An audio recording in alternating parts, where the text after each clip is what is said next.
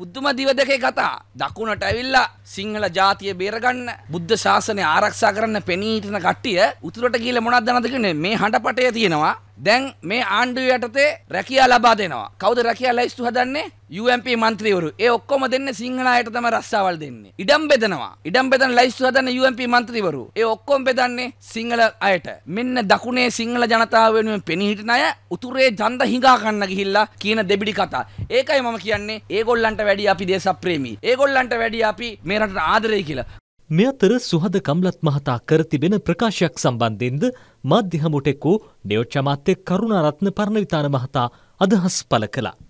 සුවද ගම්ලත් මැතිතුමා මේ දවස්වල කියාගෙන යනවා. ඒවට මාධ්‍යෙත් ලොකු ප්‍රචාරයක් දෙනවා. සමාජ මාධ්‍යයෙන් ලොකු ප්‍රචාරයක් දෙනවා. මේ සමහර ඇමතිවරු බලපෑම් කලාලු ගෝඨාභය මහත්මයාව අත්අඩංගුවට ගන්න කියලා මේ සුවද ගම්ලත් මහත්මයාට එහෙම කතාවක් කියාගෙන යනවා. මගේ මිත්‍රයාට සෝදගම්ලත් මැත්තුමාට මම පැහැදිලුම කියන්න ඕනේ තමුන්නාන්සේ ගෞරවනීය රාජ්‍ය සේවකයෙක් ඒ විතරක් නෙවෙයි ගෞරවනීය තනතුරක් දීලා තියෙනවා. එතුමාට දැන් බාර දීලා තියෙනවා මේ වින්දිතයන් ආරක්ෂා කිරීමේ ඒ පරිषදේ ප්‍රධාන ධූරය දීලා තියෙන එතුමාට. එතකොට හරියටම අගවිනිසුරුතුමා වගේ අපක්ෂපාතීව ඉන්න ඕනේ සුවදගම්ලත්. මේ බලන්නකො සුවදගම්ලත් එහෙම අපක්ෂපාතී මිනිස්සෙක්ද?